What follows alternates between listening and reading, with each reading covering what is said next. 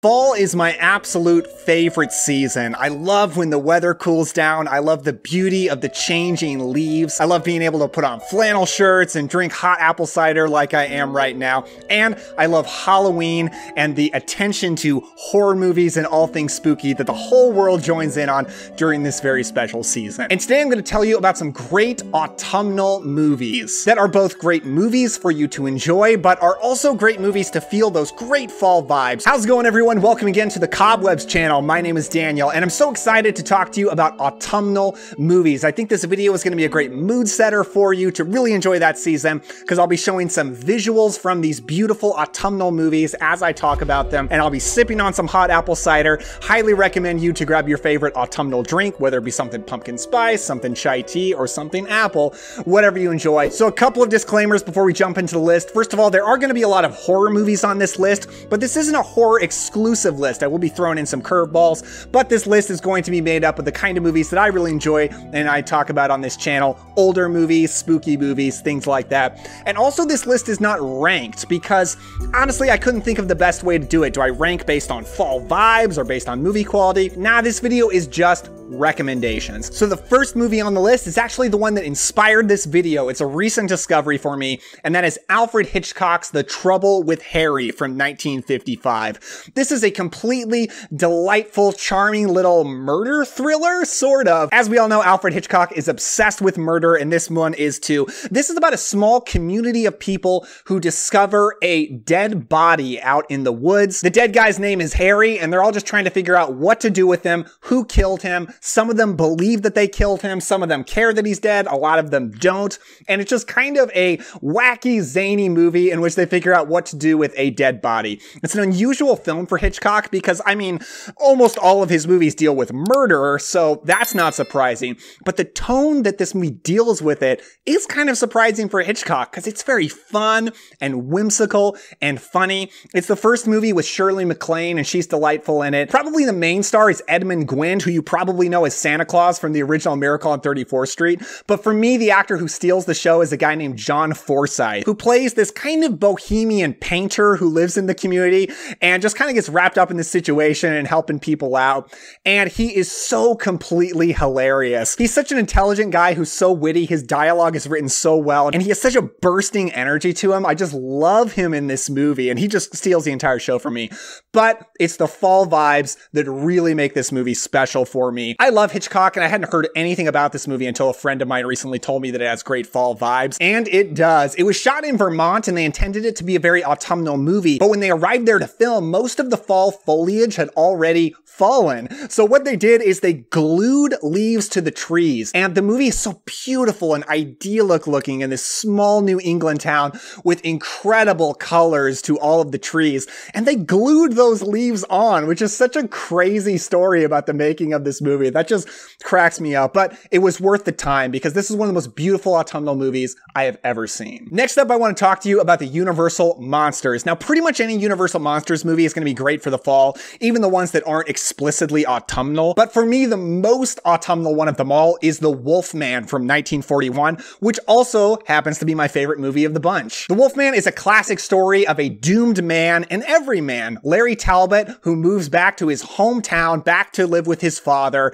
and while there, gets bitten by a werewolf and becomes cursed to become one himself when the wolfbane blooms and the autumn moon is bright. But it's not just the mention of the word autumn within that classic poem within the film, but it's the fact that this is the Universal Monsters movie that much takes place out in the woods. And this forest, which of course they created on a studio backlot, turns out to be just the most beautiful, spooky, fantastical autumnal forest you've ever seen. The scenes of the wolfman creeping through the woods while there's fog and jagged, barren trees all around are just everything I need to get in the spooky autumn season. This is a movie that I watch every single year. It's one of the movies that gets me most into that fall mood. I've already watched it this season. I love it so much. The Wolf Man's my favorite Universal Monsters movie, and I think it's the most autumnal. All right, next I want to talk to you about a couple of Stephen King adaptations because I really associate Stephen King, that King New England atmosphere with the fall, and these are a couple of my favorite for the autumn season. First up is The Dark Half from 1993. This This is actually directed by George Romero. The Dark Half is kind of a Jekyll and Hyde type story about a man played by Timothy Hutton, who when he was a kid actually had an ingrown twin in his brain, just the small remnants of this twin that surgeons removed from him. But when he gets older, he becomes a writer who also ghost writes really smutty books under a different pen name.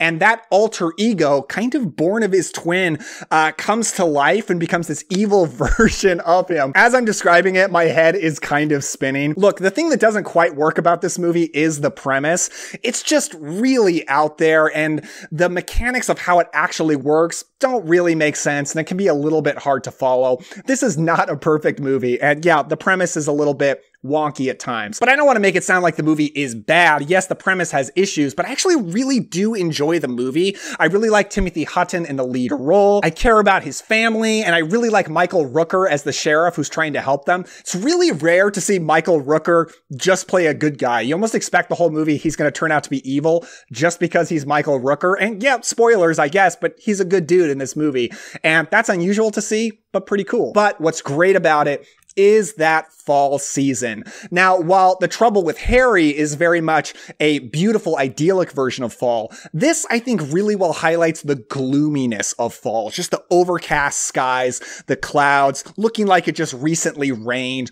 with dried, dead leaves all over the place blowing in the wind. That's just the kind of perfect atmosphere that this movie sets really well. And next is one of my absolute favorite movies to watch every autumn, and that is Pet Sematary from 1989. This is directed by Mary Lambert. This could be, if I'm being honest with myself, my favorite Stephen King adaptation. I am a huge fan of the Pet Sematary book, of that story, and this adaptation for me is just beautiful. Yes, I know it has some corniness, some cheesiness that people like to point out, but for me, that's all part of the charm. Pet Sematary, of course, is the story of a family who moves to Maine. This was actually shot in Maine, and they happen to move on a busy road, and their young son is killed by a racing truck going by. It's horrifying, and their neighbor, played by the incredible Fred Gwynne, shows the dad the pet cemetery out in the woods where they can bury the son, and maybe he will come back to life. Now, for a while, this movie movie is just a beautiful, idyllic New England atmosphere where everything is green and lush. But as soon as their cat dies and they start contemplating burying the cat in the pet cemetery where he might come back to life, right at that moment, the season turns and it becomes very autumnal. There's dead leaves all over the place. You get much more of a spooky atmosphere. So as far as autumnal movies, I like that this one uses the seasons to change the mood of the film from very beautiful and green to dying and decaying. Yes, I love fall. It's my favorite season by far, but it is a season that represents death. All of nature is dying around you. And it's incredible that it's beautiful while it happens, but that's what's happening. And this is a movie that really highlights that in a great way. And I love the movie so much. The atmosphere, I love all the actors in it. I know a lot of people like to throw the main guy under the bus. I think he's great. But of course, Fred Gwynne runs away with the movie. He's awesome. Just love that super thick New England accent he's putting on. It's so good. All right, that was a lot of horror movies. Let's run away from that and talk about a Douglas Sirk movie, all That Heaven Allows from 1955. This is a romantic melodrama about Jane Wyman, a widow with two pretty much grown children, who meets a younger man, a local gardener played by Rock Hudson, who has dreams of growing trees for a living, and falls in love with him. He falls in love with her. They have this great love affair. But when it's time to take the relationship more seriously, she is very scared of the judgment that she's going to get from her rich, aristocratic friends and her snobby kids. Now, one thing I want to warn you about the first half, maybe a little bit less, is a beautiful autumnal movie with incredible scenery. This movie was actually shot in Hollywood, like on a backlot, but they created an autumnal atmosphere so well with beautiful leaves, all the changing colors. It's a little bit like The Trouble with Harry, although not quite that beautiful. But uh, as the movie goes, the movie takes place over several months. It does turn into winter, and you do get some Christmas towards the end of this movie. So if you don't want to see any snow or any Christmas whatsoever until Halloween is over. Totally understand. Avoid this one. But if you don't mind that so much, there is some great fall atmosphere to be got. I love Douglas Sirk movies, and I think this is a really good one. It's very simple. It's under 90 minutes, and it has a great message about being whoever you want to be, no matter what people think of it, and just being true to yourself and not letting unimportant things be too important. It's a message that really rings true with me and really rings with my personal philosophy. And simple though it may be, I do think it's pretty great. And I love the main performances from Jane Wyman and Rock Hudson. I think they're so great together. And I just love Rock Hudson's character in this so much. The dude's always wearing flannel. All he cares about is growing trees. He doesn't give a crap what anyone thinks about anything. He's just a pretty awesome guy. And I just, he's kind of like everything that I want to be. Like, that's that's my dream. That's my dream version of myself right there. Okay, next up, I cannot talk about the autumn season without talking about a little village called Sleepy Hollow and the ghost that haunts it, the Headless Horseman. Sleepy Hollow is my favorite story for this season. I love to take walks out in nature when that fall air is really crisp and listen to the original Washington Irving story, and I highly recommend doing that. But as far as movies, I love both the Disney version, which you can find as the second half of the Adventures of Ichabod and Mr. Toad. It was released in 1949, and it's essentially two different shorts. One is The Wind in the Willows, and the second is Sleepy Hollow. They put them together and released released it theatrically. So the theatrical film is The Adventures of Ichabod and Mr. Toad, but you can easily just watch the second half, just watch the Sleepy Hollow version. And it's, along with The Wolf Man, probably my favorite thing to welcome in the autumn season. I love it so much. It's beautifully animated with gorgeous autumnal atmosphere. It does have some Halloween in it. And for this list, I don't know if you've noticed, but I'm kind of trying to stay away from Halloween and just stay purely autumnal. So I warn you about a little bit of Halloween in this. Uh, but then the, the legendary chase between Ichabod and the Headless Horseman. This is my favorite version of it on film for sure. But I also love the Tim Burton version, which I recently did a video on. You can check that out on the channel. It also has incredible autumnal atmosphere, very much on the gloomy side, where like I keep comparing everything to Trouble with Harry because it's probably the best movie on this list just for fall vibes. But that's the beautiful version. This is the dark, decaying, gloomy version, even more so than the dark half. And it's really great for that. I love the Tim Burton movie. If you haven't seen it, like, my God, check it out. It's one of the best big budget gothic horror films ever made. All right, let's talk about a classic horror comedy. This is Arsenic and Old Lace from 1944, directed by Frank Capra and starring Cary Grant. It stars Cary Grant as a man who is about to get married. He goes home to visit his two aunts who raised him, and he discovers that while they are the sweetest, most wonderful women in the world, they're also serial killers. And they don't understand that there's anything wrong with that. They actually think they're helping helping these people by killing them.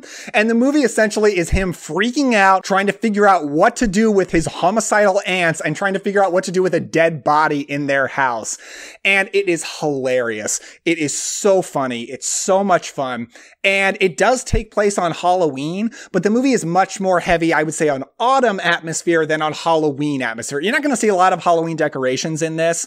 Uh, you're more so going to see dark, wind blowing, dead trees, leaves, uh, just that terrific autumnal atmosphere that we all love. I think this is a really fun movie. I was actually in the play in high school that I did before I even saw the movie, but once I saw it, uh, you know, this is like the best version of the play possible because Cary Grant is the best version of the main character possible. He is so funny in this. My favorite version of Cary Grant is the incredibly high strung, nervous, super high energy comedy Grant. Uh, comedy Grant. That is so fun. He's so great at that. And, uh, this is this is maybe his peak comedy performance, possibly. All right, let's close things out by talking about another 80s horror movie. This is The Stepfather from 1987. This is a film that tells the story, and I'm not spoiling anything, the movie tells you right up front, about a man who is a serial killer. And he's obsessed with the nuclear family, with the traditional American dream. And he wants it so bad without actually having to earn it. And what he does essentially is he marries women with children and he becomes a stepfather and he tries to be the perfect American father, like from a sitcom or something. But things always go wrong in life. Things are not perfect. And anytime things turn imperfectly, his solution is to kill the whole family, change his identity, move on to a new town, and start over. Now, this man is played by Terry O'Quinn, and while the movie itself is not an incredibly surprising story, Terry O'Quinn is so incredible in the lead role. He is the show. His performance is so phenomenal as this man who's a complete monster, but so fascinating because the way Terry O'Quinn plays him. He's such a strange, unusual serial killer. And by the way, I will note, I'm not the biggest fan of serial killer movies. I'm not really that interested in serial killers like I am in more mythological horror characters like vampires and werewolves. But this guy, just as the demented, darkest side possible of the traditional American father, is fascinating. And just watching everything that makes his character tick throughout the movie, I, I'm just so fascinated by it. I love it. I think this movie's great. Jill Schoelen plays his stepdaughter, who is the one person who does not believe his facade and is investigating throughout the movie to try to figure out what is so creepy about this guy. She's great. She's kind of an 80s scream queen. Gotta love her. But the movie was shot in Vancouver, British Columbia. And it has a perfect autumnal suburban atmosphere, which is something that we haven't quite hit on this list yet. And you do get giant trees lining this traditional American suburban street, dead leaves all over the place. There's a scene very early on where the mom is raking leaves and her and the daughter actually have a leaf fight, almost like a snowball fight where they're throwing giant piles of leaves at each other, jumping into the pile. And it's one of those perfect autumnal scenes that if that doesn't get you into the spirit, I don't know what will. So this is a really good horror movie, kind of scary, very violent, I will warn you, but so interesting on a character level. And it's just a good story. It's just a good story, very well told. So that's it, folks. That is my list of autumn movies that I recommend you check out to get you in the spirit of this wonderful season. As you could see, I did try to stay away from the season of Halloween. I may do a more Halloweeny list a little bit later in the year. But for now, thank you so much for watching. If you missed it, do check out my video that I recently did on Tim Burton's Sleepy Hollow and the new Steelbook. That's on my channel right now. Give a like if you enjoyed this video and a subscribe for more videos like this. Thank you so much for watching watching and supporting this channel. I really appreciate it. Now, please go enjoy yourself. Watch some fall movies, do some fall activities, hit up a pumpkin patch, a corn maze, enjoy this season. I know I'm going to because it's my absolute favorite time of year. Thanks very much. I'll see you next time.